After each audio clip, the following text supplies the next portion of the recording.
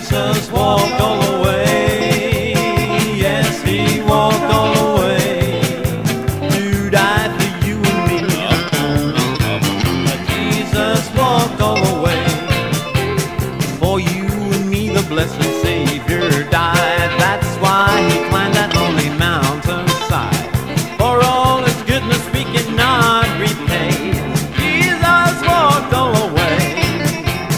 Jesus walked all.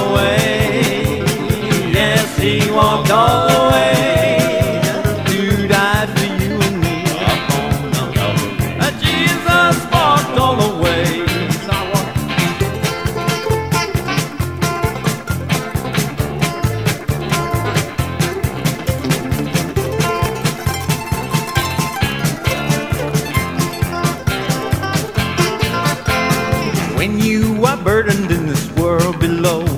Your